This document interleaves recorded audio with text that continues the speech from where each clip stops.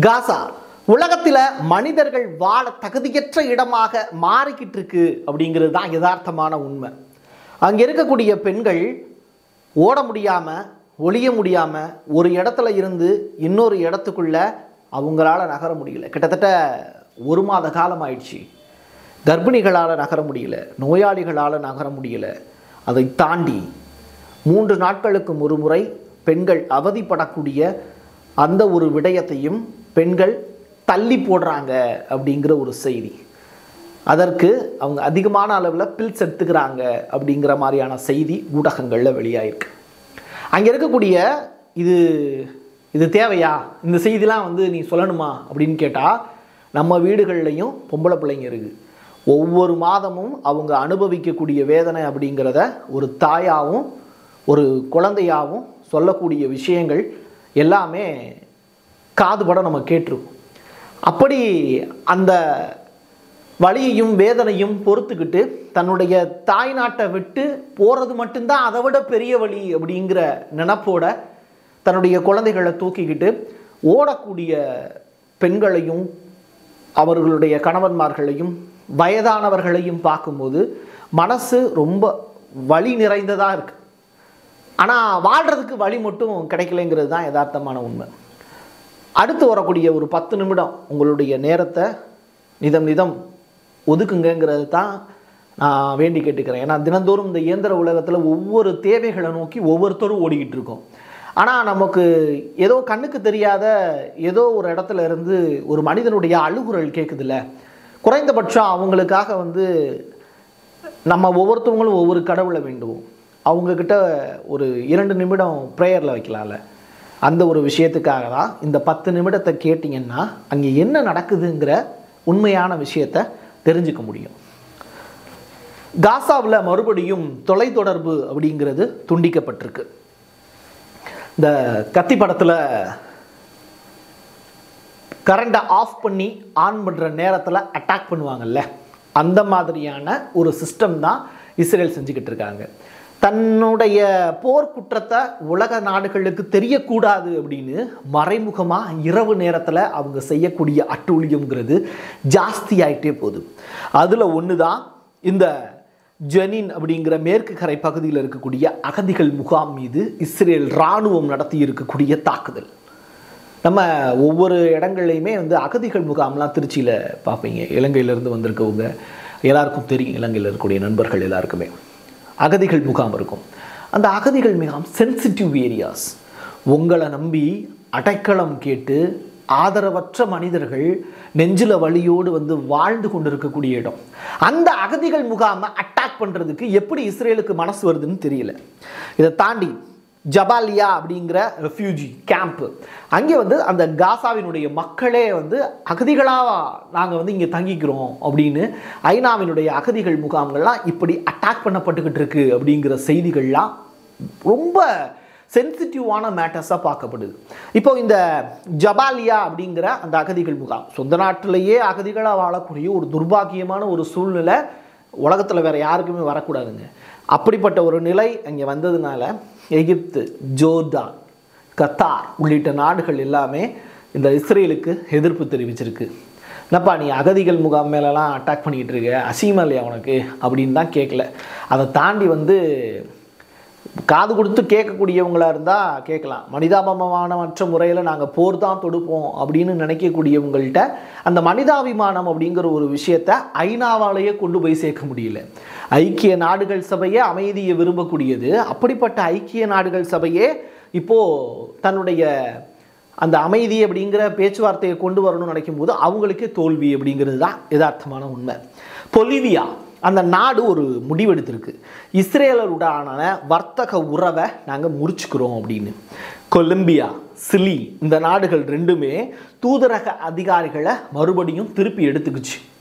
உங்கள் நாட்டுக்குள்ளெல்லாம் எங்களுடைய தூதரக அதிகாரிகளே இருக்க தேவையில்லை. நாங்கள் திருப்பி எடுத்துக்கிறோன்னு இஸ்ரேலுக்கு ஆப்போசிட்டான ஒரு முடிவு எடுத்திருக்காங்க. உடல் ஊனமுற்ற ஒரு நபர் ஒருத்தரை சுட்டு வீழ்த்தக்கூடிய காட்சி ஒன்று பதிவாகியிருக்கு. நம்ம வீடியோவில் நிறையா இமேஜஸ் தான் உங்களால் பார்க்க முடியும். வீடியோஸ் நான் பதிவு பண்ணுறதில்ல ஏன்னா அதை பதிவிட்டு ஒரு பெரிய அளவிலான சிரமங்களுக்கு நானும் உள்ளாக விரும்பலை. அதே நேரத்தில் மக்களுக்கும் அதை காட்சிப்படுத்துறதுக்கு எனக்கு விருப்பம் இல்லை. நிறையா நண்பர்கள் கேட்டிருந்தாங்க வீடியோ பதிவாகவே போடலாமே. ட்விட்டரில் ஏகப்பட்ட வீடியோஸ் இருக்கே அப்படின்னு. என் வீட்லேயும் ரெண்டு குழந்தைங்க இருக்குங்க. அந்த குழந்தைகள் அட்டாக் பண்ணக்கூடிய காட்சிகள் எல்லாம் பார்க்கும்போது மனசுக்கு உண்மையிலேயே வலிக்குது. அதை தாங்கக்கூடிய அளவுக்கான மனப்பக்குவம் அப்படிங்கிறது நமக்கு கிடையாது. ஆறாயிரம் கைதிகளை விடுதலை செய்ய ஹமாஸ் ஒரு பெரும் முயற்சி எடுத்துக்கிட்டு இருக்கு. ஆனால் இன்னொரு புறம் என்ன அப்படின்னா இஸ்ரேல் இரநூத்தி முப்பத்தி ஒன்பது கைதிகள் அப்படிங்கிற அந்த லிஸ்ட்டு வந்து கொடுத்துருக்காங்க. அவங்க கைதிகளாக இல்லாமல் அவங்கள தன்னுடைய சகோதர சகோதரிகளாக ஹமாஸ் நினைக்கிறதுனால தான் அங்கே இருக்கக்கூடிய பெண்கள் முதற்கொண்டு நாங்கள் பாதுகாப்பாக இருக்கோம் அப்படிங்கிற ஸ்டேட்மெண்ட்டை பதிவு செஞ்சுருக்காங்க. அந்த மூன்று பெண்களுடைய வீடியோ பார்த்துருப்பீங்கன்னு நினைக்கிறேன். அதில் அவங்க ரொம்ப கண்ணியமாக இஸ்ரேலுக்கு எதிராக பேசக்கூடிய நபர்களாக இருந்தாங்க. நெதன்யாவுக்கு எதிராக பேசக்கூடிய நபர்களாக இருந்தாங்க. நெதன்யாகு எங்களை காப்பாற்றுறதை விட உங்களுக்கு என்ன வேலை அப்படிங்கிற கேள்விகளையும் கேட்டிருந்தாங்க. நெதன்யாகு நீங்கள் தோற்று போயிட்டீங்க. அப்படிங்கிற விஷயத்த இஸ்ரேலில் இருக்கக்கூடிய இஸ்ரேலில் வாழ்ந்த இப்போ ஹமாஸினுடைய பிணை கைதிகளாக இருக்கக்கூடிய பெண்கள் கேட்கக்கூடிய நிலைக்கு இஸ்ரேல் தள்ளப்பட்டிருக்கு அப்படின்னா அந்த நாட்டினுடைய தலைவர் தன்னுடைய பதவியை ஏன் ராஜினாமா செய்யக்கூடாது அப்படிங்கிற கேள்வி சில நாடுகளிடமிருந்து வந்து கொண்டிருக்கிறது. ஃபாரூன் அப்படிங்கிற கிராமம் ரொம்ப அழகான கிராமம். அந்த கிராமத்தினுடைய வீடியோக்கள்லாம் நான் பார்த்தேன். அந்த கிராமத்தில் புகுந்து விடுவிக்கப்பட்ட கைதிகள் வீடுக்குள்ளே போகிறாங்க அந்த வீடியோவில் நான் பார்க்க முடியுது. ட்விட்டரில் வந்து போட்டிருந்தாங்க. அந்த வீடியோஸில் வந்து உள்ளக்குள்ளே இறங்கி அந்த வீடுகளுக்குள்ளே நுழையிறாங்க. இஸ்ரேலுடைய இராணுவ வீரர்கள்.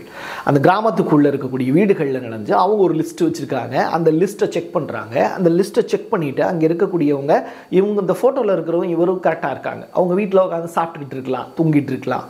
அப்படி இருக்கும்போது அவங்கள எழுப்பி நடுராத்திரியில் அந்த அந்த நபரை கூட்டு போகிறாங்க அவங்க யாருன்னா இஸ்ரேலால் ஏற்கனவே கைதி சிறைகளில் கைதிகளாக இருந்திருப்பாங்க.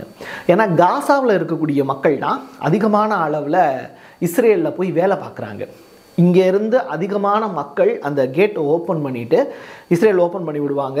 ஒர்க்கிங் ஹவர்ஸில் காசா ஏரியாவிலேருந்து இஸ்ரேல் பகுதிக்குள்ளே போயிட்டு மறுபடியும் திரும்பி மக்கள் காசா பகுதிக்கு வந்துடுவாங்க இது ஒன் டேக்குள்ள இடைவெளியிலேயே நடக்கும். அப்போது இஸ்ரேலுடைய இவ்வளோ வர்த்தக செழிப்பாக இருக்கிறது விவசாய செழிப்பாக இருக்குன்னா காசா மக்களுடைய உழைப்பு. அப்படிப்பட்ட காசா மக்களை கைதிகளாக ஐடென்டிஃபை பண்ணவங்கள அவங்களுடைய வீடுகளுக்குள்ளேயே போய் இஸ்ரேல் அந்த கைதிகளை மறுபடியும் அரெஸ்ட் பண்ணி கொண்டு வந்து இஸ்ரேலுடைய சிறைகளில் அடைக்கக்கூடிய நிகழ்வை பார்க்கும்போது என்னப்பா பண்ணுறீங்க நீங்கள் அப்படின்னு தான் கேட்க வேண்டியது இருக்குது இதை தவிர நம்ம வேற என்ன செய்ய முடியும்? சொல்ல தான் முடியும். அது மக்களுடைய காதுகளில் செவிகளில் விழுந்து அதை நெஞ்சில் வச்சுக்கோங்க. இது நாளைக்கு நமக்கும் நடக்கலாம். ஏன்னா ரொம்ப தூரத்தில் இல்லைங்க. நீங்கள் இதை பேசிக்கிட்டு இருக்கிறத கேட்குறீங்க. கண்டிப்பாக சென்னை மும்பை உள்ளிட்ட ஏரியாக்களில் இருப்பீங்க. நம்ம ஊரில் இருந்து நாலாயிரம் கிலோமீட்டர் தான் இஸ்ரேல். வெறும் நாலாயிரம் கிலோமீட்டர். உலகம் ரொம்ப பெருசுலாம் கிடையாது. எங்கேயோ இருக்கக்கூடிய நம்ம இந்த யூடியூப் அப்படிங்கிற அந்த சமூக வலைத்தளம் இணைக்குதுல. அந்த அப்படி இருக்கும்போதே நானும் நீங்களும் ரொம்ப நெருங்கின இடத்துல தான் இருக்கும். அதனால் ஈஸி அக்சஸபிள் தான். உண்மையிலேயே. லத்தீன் அமெரிக்க நாடுகளை குறிவைக்கக்கூடிய இஸ்ரேல். இப்போது இவங்க என்ன பண்ணுறாங்கன்னா நாடுகளை பிடிக்கக்கூடிய ஆசையில் எது இதெல்லாம் வரலாற்றில் நமக்கு ஒத்து வராத நாடுகளாக இருக்கோ காலனி ஆதிக்கம் அப்படிங்கிற ஒரு விஷயத்தை முன்னிலைப்படுத்தினோமோ அந்த நாடுகளை புறம் மறுபடியும் கைப்பற்றுவதற்கான முயற்சி. அந்த நாடுகளில் இருக்கக்கூடிய நிலங்களை கைப்பற்றுவதற்கான முயற்சி எண்ணெய் வளங்களை கைப்பற்றுவதற்கான முயற்சிகளில் இந்த காலனி ஆதிக்கத்தை ஃபாலோ பண்ணக்கூடிய நபர்கள் ஆண் நாடுகள் எல்லாமே செஞ்சுக்கிட்டு இருக்காங்க. அதில் இஸ்ரேலும் ஒன்றா மாறி நிற்கிது அவங்க என்ன பண்ணுறாங்கன்னா ஒரு காலத்தில் ஞாபகம் இருக்கா? சேகுவேரா அப்படின்னு சொல்லிட்டு ஒரு பர்சன் பொலிவிய காடுகளில் அவர் தான் வந்து கொரில்லா பயிற்சி கொடுத்தார். லத்தீன் அமெரிக்க நாடுகளுடைய ஹீரோ யாருன்னா அவங்களுடைய விடுதலைக்காக போராடக்கூடிய ஒரு மகத்தான ஹீரோவாக சேகுவேரா அப்படிங்கிற நபர் அறியப்பட்டார்.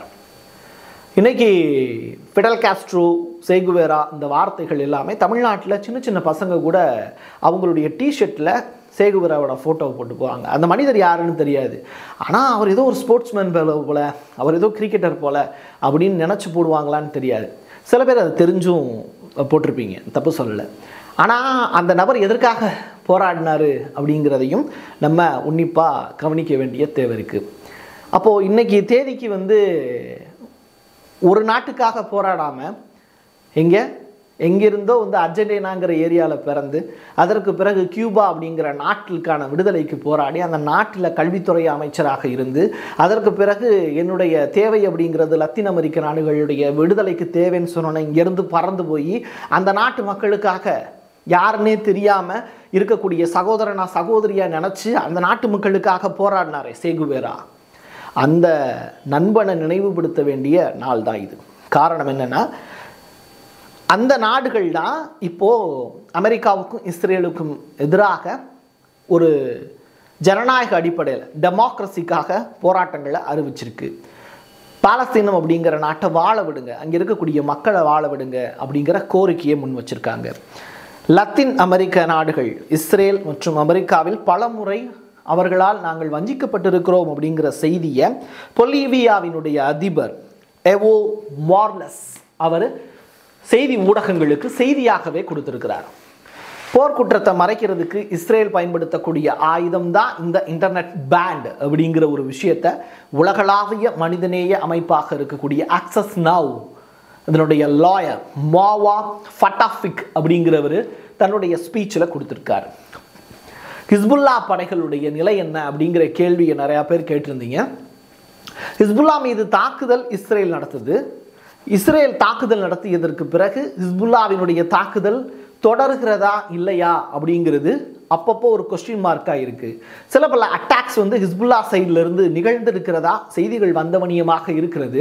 ஆனால் அதை ஹிஸ்புல்லா தான் செஞ்சுருக்காங்க அப்படிங்கிற மாதிரியான அதிகாரப்பூர்வமான அறிவிப்பு அப்படிங்கிறது அவங்க சைடில் இருந்து இன்னும் நான் பார்க்கல. அண்டை நாடுகளுடனான நட்பை விரிவுபடுத்துறது தான் ஒரு நாட்டினுடைய மிகப்பெரிய ஆரோக்கியமான ஒரு விஷயம். அதை இந்தியா வந்து செஞ்சுக்கிட்டு இருக்கு. முதல்ல இஸ்ரேலுக்கு வந்து சப்போர்ட் அப்படிங்கிற ஒரு விஷயத்த சொன்னாலும் பாலஸ்தீன மக்களுக்காக எய்டு கொடுக்கறதுல ஐநாவோட டைப் பண்ணி இன்னைக்கு எகிப்துக்கு எகிப்து வழியாக எகிப்தினுடைய ரஃபா எல்லை வழியாக அதிகமான அளவில் உதவி பொருட்களை செஞ்சதில் இந்தியாவும் ஒரு நாடு. பாலஸ்தீனில் இருக்கக்கூடிய காசாவில் இருக்கக்கூடிய மக்கள் தெற்கு காசாவில் அவதிப்பட்டுக்கிட்டு இருக்கக்கூடிய மக்களுக்காக இந்தியனுடைய வரியிலிருந்து அவருடைய உழைப்பிலிருந்து எய்டு போகுது அப்படின்னு சொல்லும்போது மகிழ்ச்சியான ஒரு செய்தி.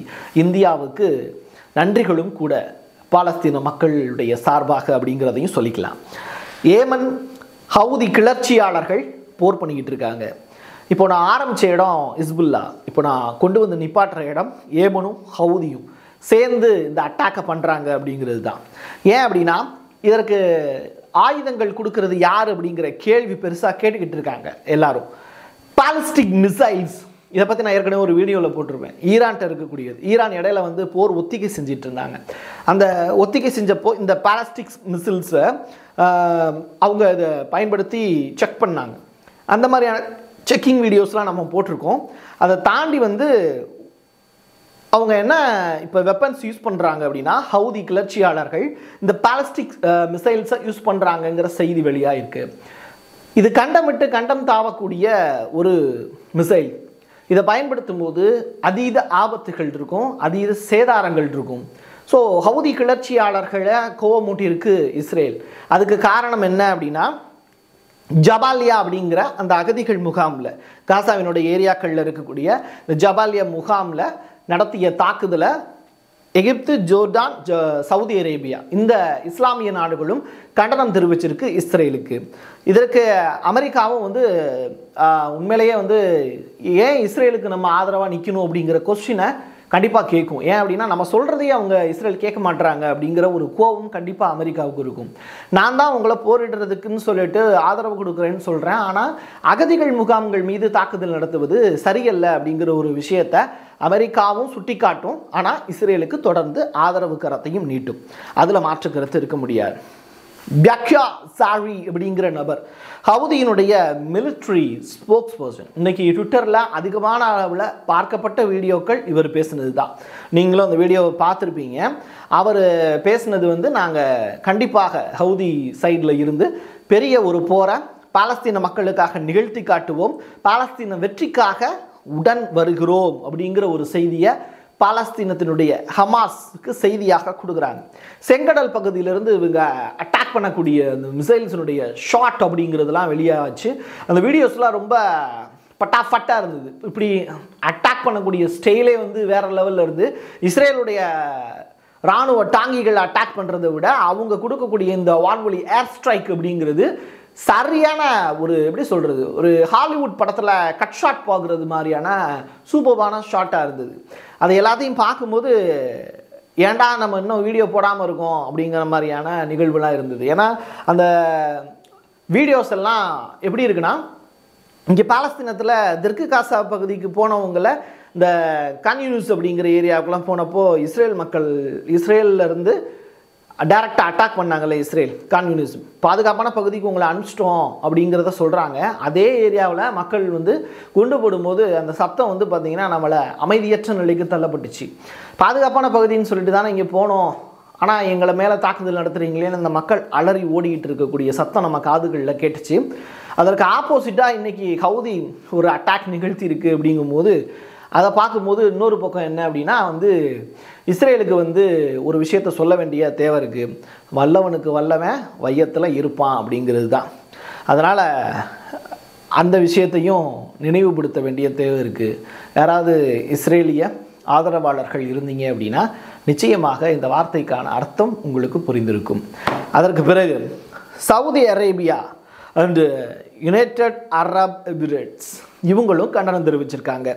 ஒரு காலகட்டத்தில் ஹவுதியோட ஒரு பெரிய சண்டைலாம் நடந்திருக்கு சவுதி அரேபியாவுக்கு.